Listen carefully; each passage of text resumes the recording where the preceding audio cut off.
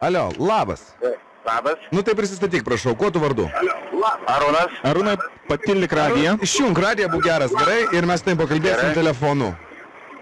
Gerai. Super. Gerai. Tai Jonas užsirašinės tavo atsakymus, o aš klausiu. Arūnai, Taip. papasakok, prašau, a, koks tavo draugės yra vardas? Vitali. Vitali. Vitali.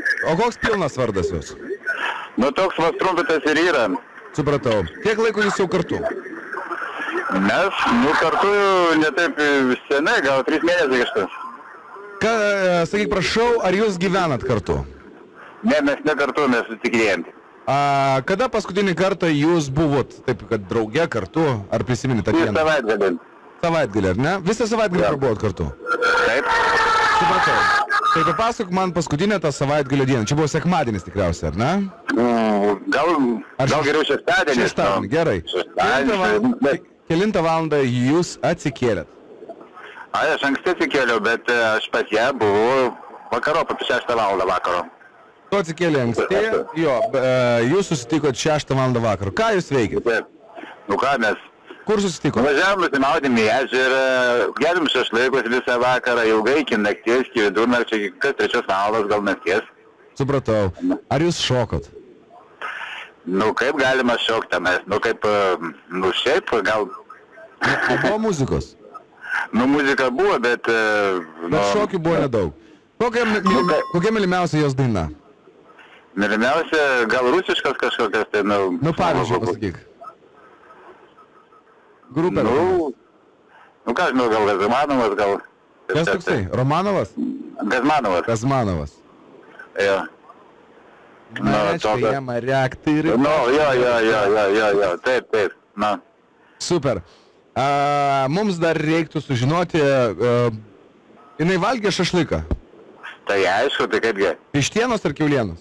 Ne, kiaulienos. Buvo dviejų rūšių. Vienas su majonezu, kitas be.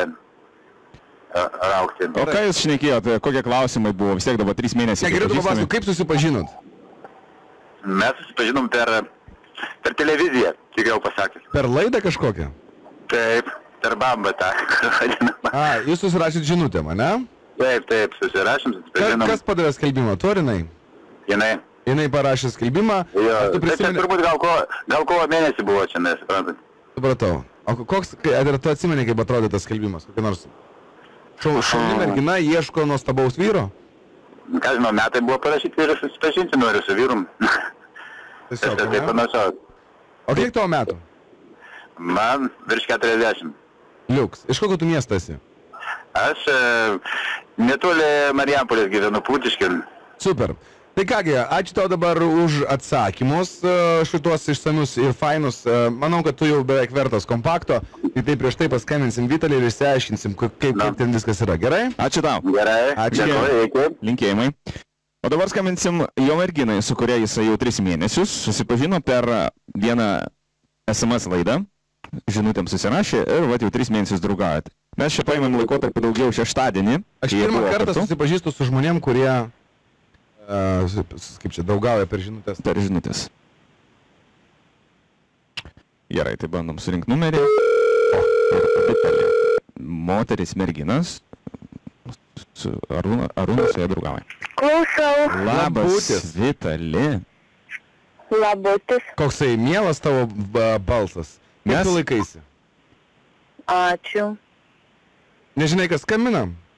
Ne, Mes SMS. SMS žinutėm bendravom su tavim. kada? Seniau. Kovo mėnesį. Kovo mėnesį gal. Kas čia kalba, du balsai. Bijai, bijai dviejų. Ne, iš tikrųjų tai tau skambina e, iš radio stoties ZBFM, radistai Jonas ir Rolandas, mes skambinam iš Palangos pležo, todėl kad mus, e, tave tiksliau ir save, Arūnas užregistravo į labai fainą žaidimą pavadinimu Meilė Seilė. Ar žinai, kas yra Arūnas? Žinau. Žinai, Kas jis yra tau toks? Ką? Kaip sakėt, Kas Arūnas tau yra? Draugas, Draugas, na, va, iš kad balsas pasikeitė, ne? Kiek jis kartu Mes? Arūnui uh, uždavėm kelis klausimus, ar ne, ne kelis, kelias dešimt klausimų, uh, kurie yra susijęs su jumis, su jūsų pora uh, pažinties laikotarpiu dabar, kiek jūs esate, ar ne?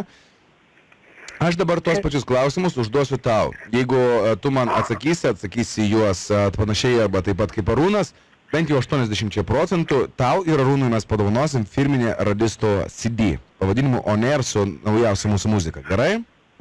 Gerai. Super. Tai Vitalė, atsakyk, kiek kartų jūs jau esat? tai nuo kovo mėnesio. Kaip kovo mėnesio. kartu žiūrim, bendraut pradėjom, tai nuo Ne, nu, aš sakyk, įsivaizduokim, kaip pora, gal taip reikėtų pasakyti. Kada tu pavadinai jau jį savo vaikinu?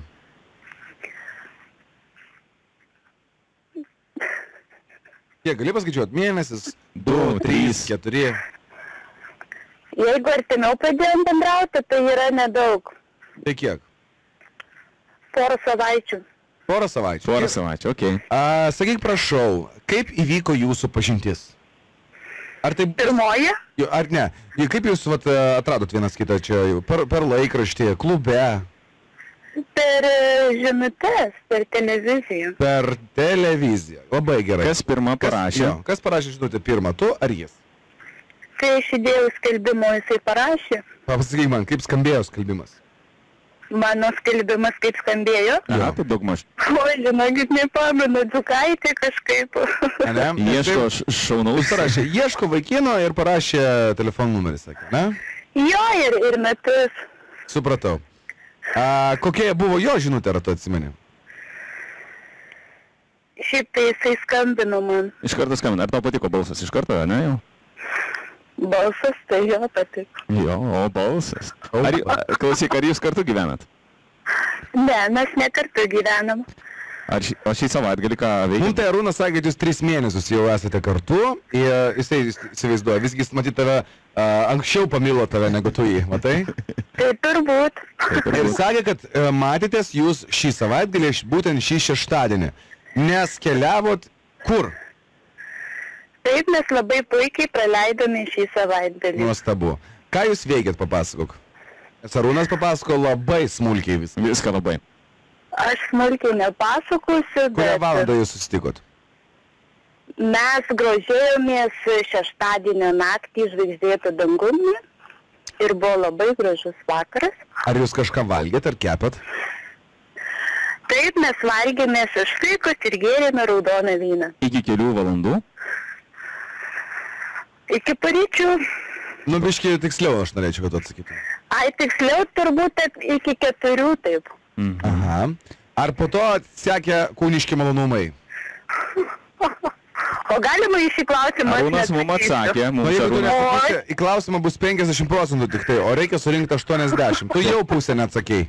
Taip, tai, tai kūniški malonumai. Jeigu tu atsakysi paskutiniai trys klausimai, žinok, liko. Jeigu tu juos atsakysi, jūsų dovanos.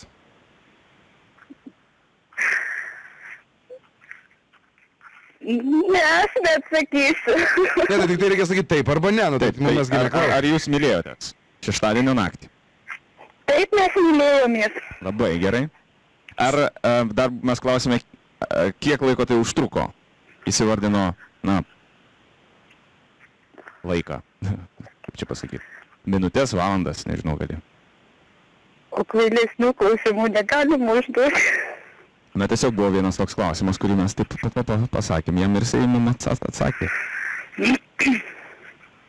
Atatat atsakė. Aš nepamenu, kiek laiko tu užtruko. Na gerai, iki valandos, iki pusės valandos, 20 minučių. Nu, tikrai ne 20 minučių. Penkias minutės. Daugiau turėjau omenyje. Gerai, mes dar klausime, kur tai įvyko. Jisai pasakė mums vietą. Tikslę vietą, tarp kitko. Taip, labai Jis pasakė net pozą. Pozas mes tavęs neprašysim, bet Jo, vietą gali. vietą reikėtų pasakyti. Ir tada jau plojimai tau skambės.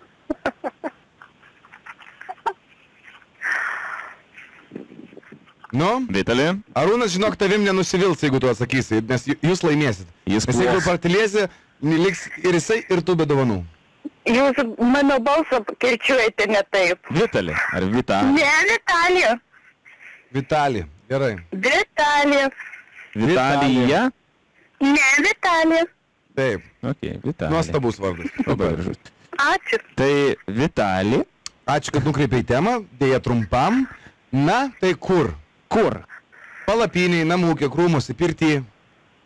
Mm, Kambarį. Krūmuose. Gerai skamba. O kas? Pamirštas reikalas? Tai buvo kambarį, ar ne? Lovoj ar ant sofos? Ar virtuvėje? Ar ant čiūžinio? Ar ant raskladuškės? Ar reikia čia įvardinti dabar? Reikia. Ne, nevardinti. Mes gilovos ilgio tai neklausim. Tu labai kukli. O tu visur tokia kukli? Taip, aš visur tokia kukli. Ir parduotuviai? Kas čia daro dabar iš gyvūnus? Gerai, Vitalikai. Plojimai skamba tau. Taip, mes dovanojam du kompaktus, tau vieną ir, ir, ir tavo vaikinui. Ir dar norėjom paklausti, kokia tau muzika labiausiai patinka? A, teisingai, šitas buvo klausimas. Muzika? Atlikėjas jums tavo mėgstamiausias. Atlikėjas mėgstamiausias. Nu, kaip man patinka. Višniauskas, Paškevičius. Višniauskas, Paškevičius. Nu čia tu uždirbai minusą, nes jisai sakė, kad tavo, tavo gazmanovas. Rusiška gazmanovas. Taip, ir gazmanovas patinka. Taip, gazmanovas. Vieninį ravicį dušt. Taip. A, tvarka, tai mes žinok, tau vis tiek dovanojam kompaktėlį. Gerai, Aš. tai tavo numerį išsiųsim savo sekretoriui, jinai perskambins ir papasakos, kaip gausi dovaną. Ačiū tau labai. Ačiū, iki te. Linkėjimai. Ačiū, iki. Iki. Nu jo, per vargus, negalus, ne? Negalus, mes kažkaip